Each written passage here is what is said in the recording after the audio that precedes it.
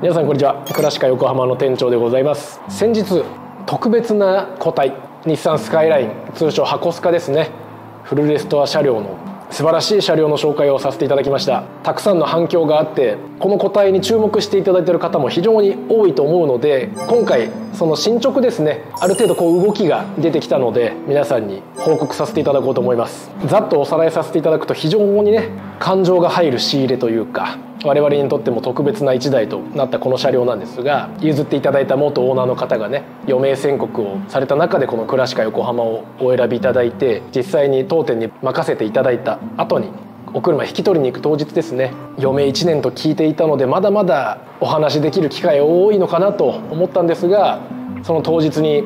亡くなられてこの次のねオーナーさんとか動画の行方も楽しみにされてらっしゃったので我々としてもこう胸に来るものがあると言いますかね非常に心動かされる1台となっているわけなんですがで前回の動画でこちらの車両を販売させていただくにあたって全てこの背景を理解していただいたお客様本当に車を大切に乗っていただける方この全オーナー様のね思いを引き継いでいただけるような素敵な方のみに販売を絞りたいという、まあ、ある意味車屋のエゴみたいなもんですけどね。これをこの個体に関しては貫かせてくださいというような内容でした。なのでカーセンサーやホームページには載せずに YouTube で仕入れの背景をね知っていただいた方のみお車に興味持っていただいた方はお問い合わせくださいというような内容でお話しさせていただいたんですがはるくん、はい、ありがたいことにもうすでにねこの撮影日が2023年の10月13日動画を公開して1週間足らずですね。予想を超えるたくさんの方にお問い合わせをいただいてオーナー様の思いを引き継ぎたいとね温かい言葉とともに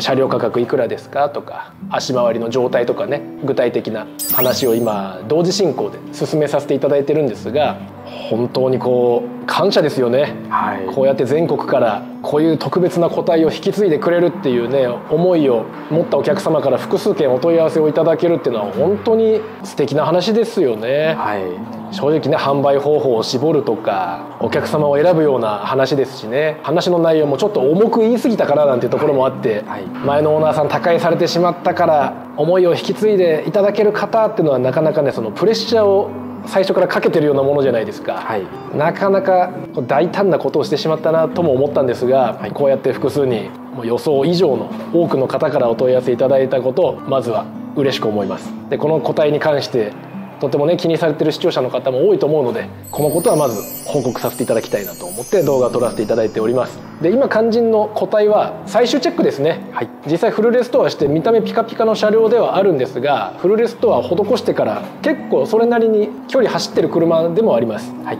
なので納車前にいくら側が綺麗とはいえこの消耗部品ですよね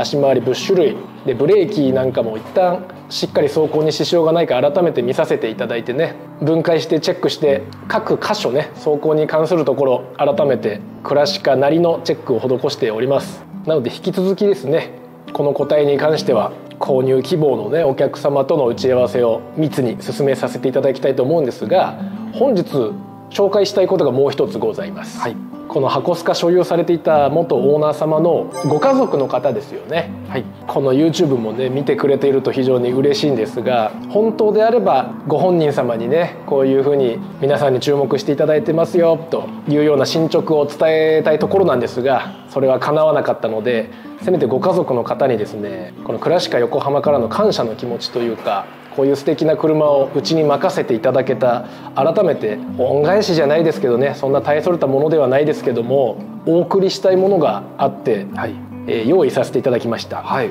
こちらですね。はい。お箱スカの絵を描かせていただきました、はい、でこれ元オーナー様が実際にこの箱スカ用にね、はい、用意されたガレージ。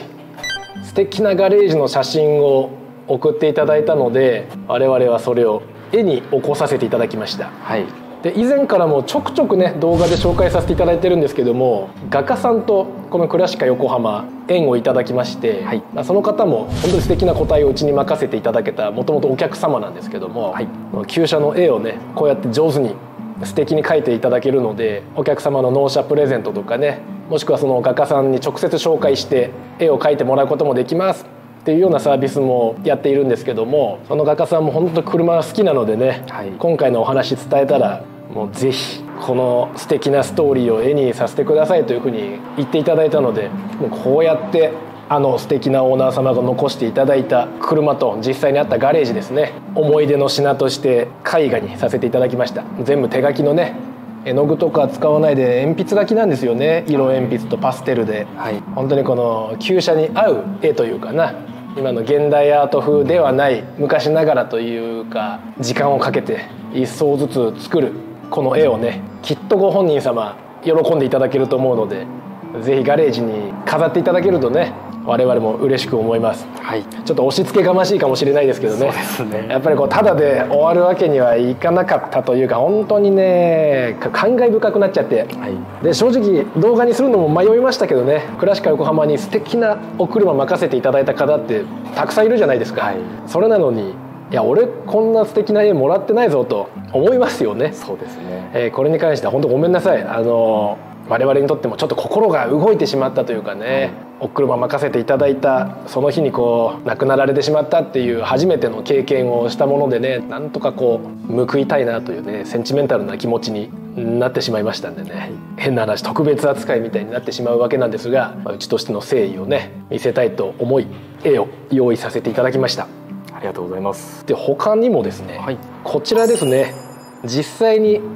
この箱スカについていたナンバープレートこれもね名義変更する時に別のナンバーに変わるわけなんですがこうやって穴を開けるとねナンバープレートもらえるんですよね。なのでこれも下手したらありがた迷惑かもしれないんですが一緒にガレージにね飾っていただけるとすごく喜んでいただけるんじゃないかなということで本当勝手ですけどね。そうですね、はい、送らせていただこうかなと思っております、はい、本当に今はネットの時代ですけどねこのような出来事があると改めてこう結局は人と人のつながりなんだなと思わされますよね、はい、素敵なお車を任せていただいた背景もそうですしこうやってね何かプレゼントというか形にしたいなと思った時には協力してくれる画家さんがねこのクラシカの YouTube をきっかけに仲良くしていただいてたりでその方もねただ車の絵を描くのが上手ってだけじゃなくてこういう背景も含めてね汲み取ってオリジナルの1枚を描いてくれるので本当に周りの人に助けられてるなと改めて感じさせられますよね。はい、で本当に素敵な絵なのでこのクラシカの YouTube をご覧いただいてる皆様もご自身の愛車とかねあ私のも書いてほしいっていうようなことあったら画家さんの LINE の ID を概要欄に記載させていただきますのでこれご本人にも許可を頂いてますんであの気兼ねなく問い合わせしてみてくださいお願いします。ということで今回は箱スカ 2000GT の進捗ですね、はい、紹介させていただきました。改めてね人と人の関わりを大切にしていきたいなと思わせてくれる素敵な個体。しっかりと次のオーナー様にね引き継げるように我々も最善の動きをしていこうと思いますので引き続きよろしくお願いいたします。ちょっとでもいいなと思っていただいた方はチャンネル登録をして次回以降の動画もご覧ください。それではまた必ずお会いしましょう。店長でした